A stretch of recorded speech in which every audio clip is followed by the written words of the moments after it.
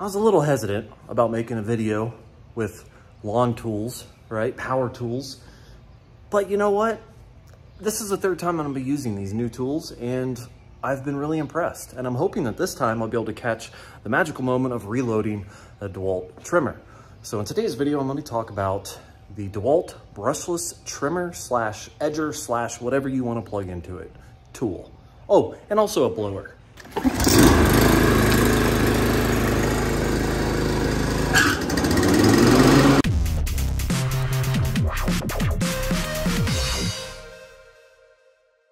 What's up YouTube, Jason here with Byte My Bits, and in today's video, I know I don't really talk about lawn care stuff, but this is kind of one of those unique things where I was really pushing back the idea of getting electric powered lawn tools, because in my mind, I've used one in my life before and it was terrible. So I thought to myself, all battery tools suck. They don't have the power, they don't have the longevity, like they just can't do the same as gas power tools.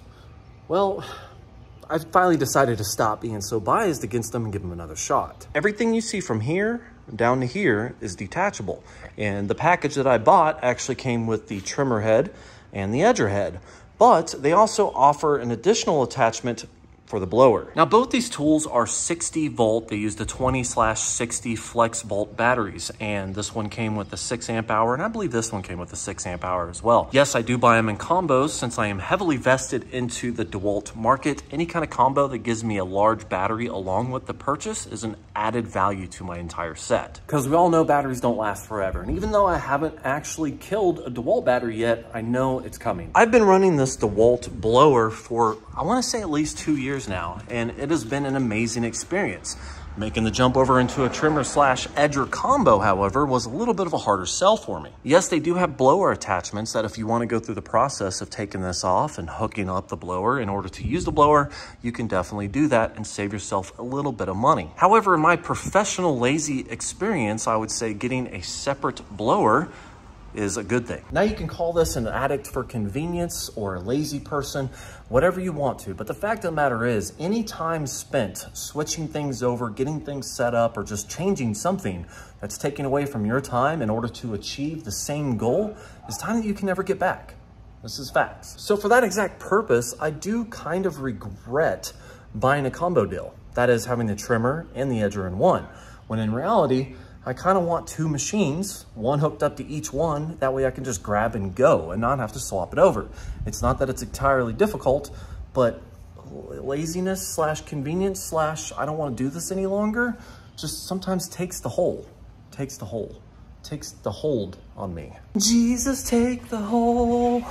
now swapping this over, like I said, is extremely easy. It's literally just a matter of loosening this little tightening bolt right here, pushing in this pin, and then having leverage to pull this apart. See? Super easy. Just set this right there and then take this line it up. On the side of the tools, you'll see two arrows. So it's really hard to screw up. I mean, it tells you exactly how to put it in the hole. I mean, how often in life is like your runway to the hole lit up with arrows? You know what I mean? Now, each attachment does come with a cap. Uh, I threw one attachment cap away or at least set it aside somewhere so it's basically thrown away and I'm keeping one because there is grease inside this hole that I would imagine is a good thing to keep because, you know, heat. Then using your newly discovered runway, all you do is line it up, stick it in the hole, and see if I can do this one-handed. Oh, there we go. Look at that. See? Slides right in and attaches itself. Then just as easy as we loosened it up, I'm going to tighten up this little tightening thing. And there you go. So getting everything switched over is easy. And like I said before, I am fairly heavily vested into the uh, DeWalt family. So I have a bunch of these batteries. Now, if memory serves me right, this tool came with a six amp hour battery, but I have nine amp hours. Something to keep in mind, these six amp hour batteries, if I remember right, is $250 a piece. This entire combo set was about $390. So if you take out the $250 battery, that's a pretty cheap set of trimmer and edgers. Since I just finished mowing my lawn, I decided this time to start off with edging and then follow it up with some trimming. As I said, this is a brushless motor, so you don't necessarily get the like consistent variable speed by pushing the trigger, but it does have little notches. It'll just be you know, one step after another. It's just one of those things that you notice while you're using it. But here on the front, you do have the option to set it to high or to low. I always, of course, have it set to high. And on the top here, you have the safety switch. This actually is supposed to fold down and be kind of a nuisance. That way you have to flip this up in order to push down the safety switch. But what I did is I glued this top, so no matter what, I don't have to worry about flipping that. That is, of course, a choice you'll have to make on your own tool if you get it. But to me, it was more of a nuisance than a safety thing. So I ripped it off, but then I'm like, well, Maybe I'll want it later. Just, I have no idea. I just glued it. Then once you hold this down, you can pull this trigger and that will activate the head. And I'll demonstrate that here in just a second. Now, the reason why I mentioned the brushless thing not being 100% variable is because in my experience with using a gas trimmer, I notice as I'm going in and, in and out and around certain grassy areas that I kind of fluctuate how hard I pull the trigger. And it, it's a variable speed. It's a gas engine. That's how it works. So I kind of sort of found myself having to retrain the way I look at going around obstacles or lifting up the head or something like that. Because in your mind, you have to know that it has different steps of speed instead of an extremely variable speed. It does have multiple speeds. It's just not like a gas engine, but that's okay. Before I showcase how this works, I do want to talk about this head for a second. This thing is already modified because it did have a little guard that came on the tip right here that was supposed to protect or do something with the edge, but it did nothing but get in the way. So that was the first thing I took off because it to me, it was just literally not usable. Also, you have this tightening thing right here. You can loosen this up and you can adjust the depth of what you're cutting. I already have all mine set up and ready to go. So let's give you a demonstration.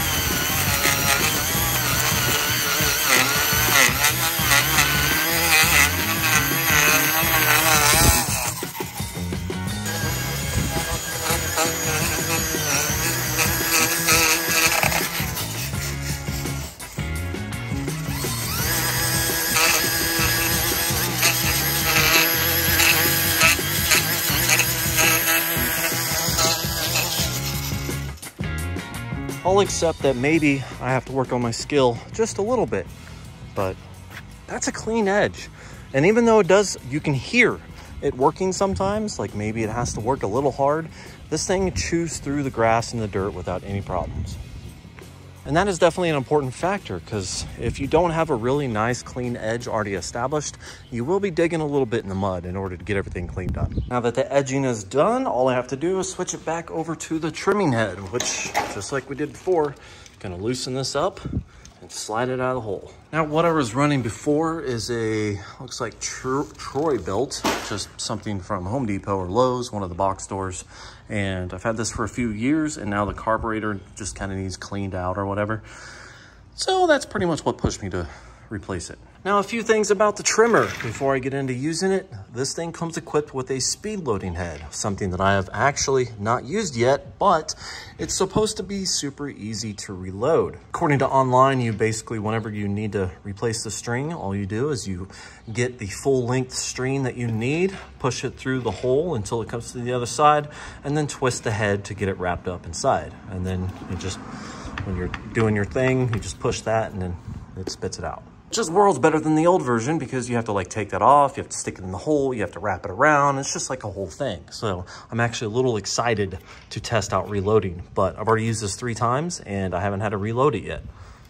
It's kind of weird. Also with the trimmer head, it does come with a adjustable blade that cuts your overall length. So like here's the total length here. As you can see, I went through a little bit. It originally was stuck to right here, but I extended it out for just a little bit of a wider swing. I think it's about a 15 inch swing uh, on your string. So it's, you know, your personal preference, but I just wanted a bigger string. Other than that, the trimmer head is a trimmer head. It just attaches to that same device and that's it. This is, however, a perfect time to give you an accurate demonstration of the variable speed head that it has on something a little less heavy like an edger blade, for example, takes a little bit more to get spun up, whereas a trimmer head, you can kind of hear the difference. Let me show you. Now again, you will have to push the safety switch in order to engage the motor.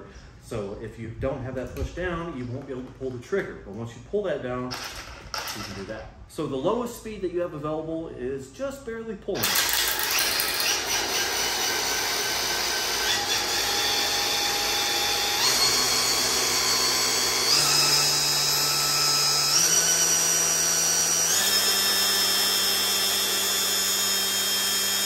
So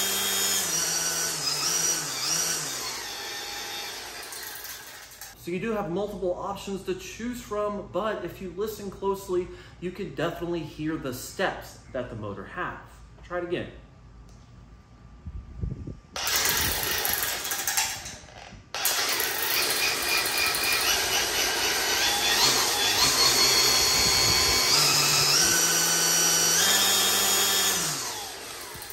Not a big deal. The only thing that I had to get used to was tapping it.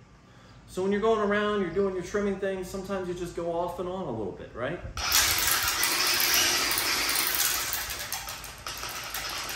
It's not a thing.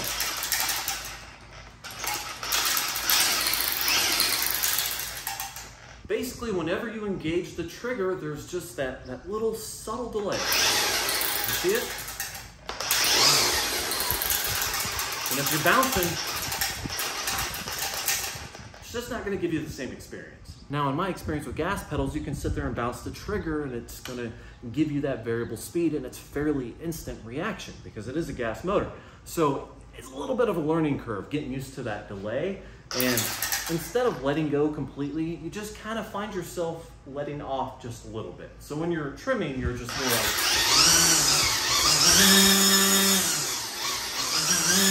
It's not a big learning curve, but it is something that's definitely just a little bit different.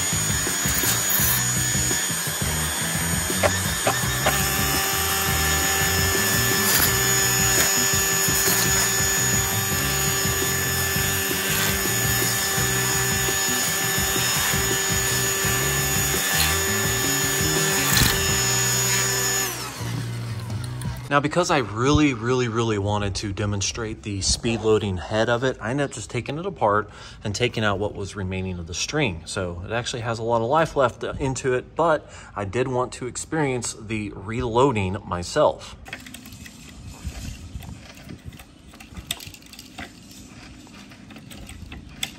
If you see these two little white notches right here, all you have to do is line them up.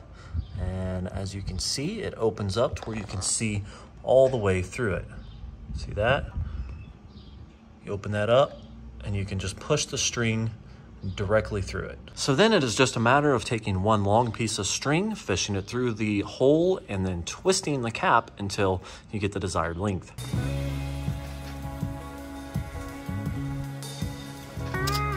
Once you have it the same length, all you do is rotate it.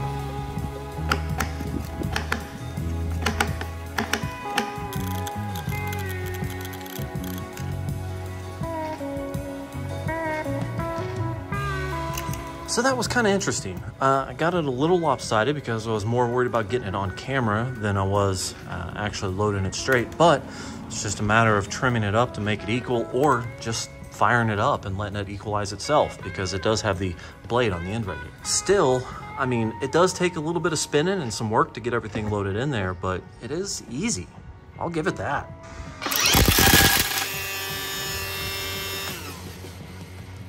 And just like that, the trimming and the edging is done. Oh, I, I do need my battery. I should note here that off one 9 amp hour battery, I have trimmed and edged the property, something that I was able to achieve with the 6 amp hour battery. Uh, however, just 9 amp allows me to get a little bit more through the blowing than what a 6 amp hour does. Not that that is a terribly big deal because I have a spare 9 amp just chilling on the charger. But still, it's nice getting everything knocked out with one battery, or at least most of it. Now this standalone brushless blower, again, still has the same, I wanna say flaw, but the same characteristic of not being 100% variable because you can still hear the steps. However, because of the way it's set up and the motor being smaller and it doesn't have to get initiated as fast, it seems a little smoother. Watch.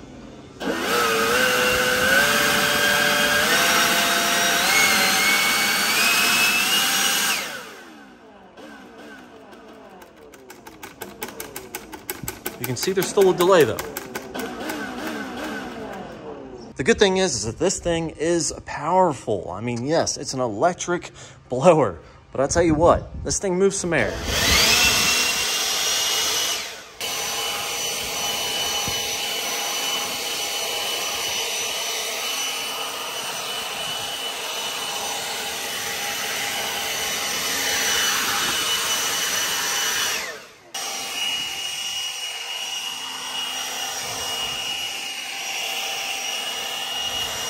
Funny enough, I'm actually done blowing and I still have battery left. I only got about a bar, but I still have battery left. I still have to go through and, and break up some of the thatch built up in the yard, but that's more of a, I don't want a bag right now type of thing. But still, one nine amp hour battery, that's not bad. I do not make it this far in a six amp. So I only make it through part of my blowing. And just like that, the lawn is edged, trimmed, and blown. So part of me thinks, was it unfair to be biased against electronic lawn care tools or was it a good thing to wait for the right tool? And that's where I'm at right now. I feel like I have the right tools.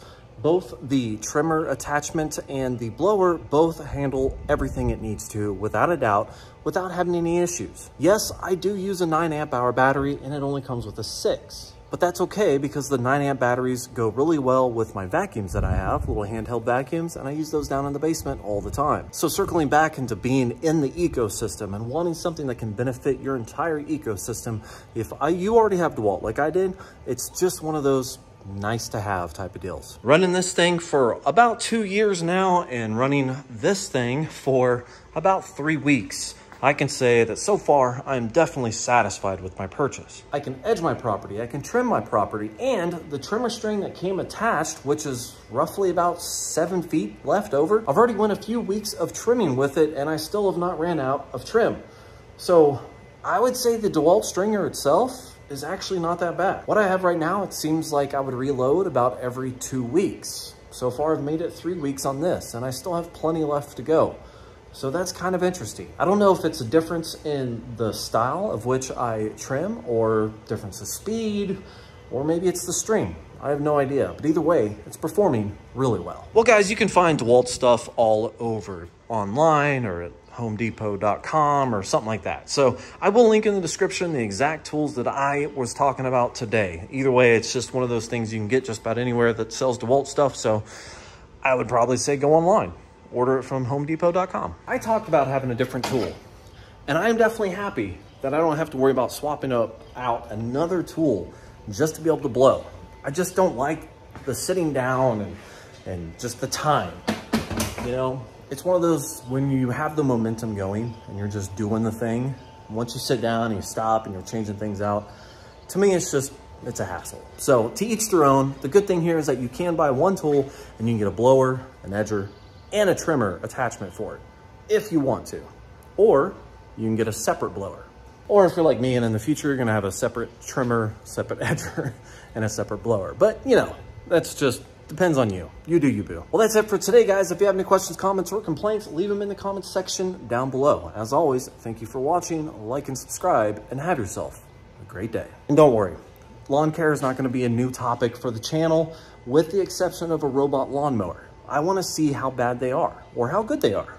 I can honestly say, I have no idea. I've watched Watch go and his, but I mean, every lawn's different. Every environment's different. I want to try out a robot lawnmower. Okay, that's it.